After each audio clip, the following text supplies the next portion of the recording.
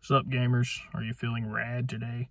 We've got another video game review here. Immortals Fenyx Rising. New game coming out for the computer. Uh, now, I got some notes written here uh, about this game. First thing you look at when you watch the trailer, the graphics. Sure, they're pretty nice. It's all pretty nicely drawn. But for my, uh, for my taste, little bit too colorful, okay? I didn't uh, like the fact that they used so many colors. I think it could have been a little bit less colorful and that would have made the experience a little bit more immersive for me. Uh, one of the big things they advertise in the trailer is that you can ride on the on horseback, ride on the back of the horse. Well, uh, that might have been cool, you know, 30 years ago in gaming, but I've seen that before. That didn't necessarily pique my interest too much.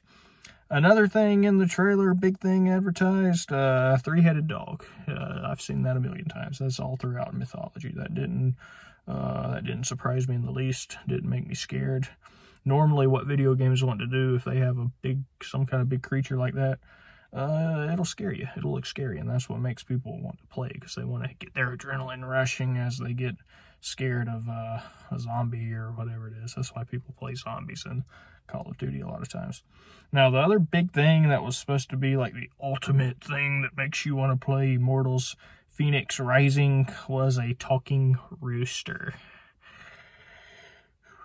I've seen that a million times. Just about every animated movie, uh, you see that. So, overall, I have to give this game a review of two out of five Xbox controllers. It's not, doesn't seem uh, too promising from the trailer.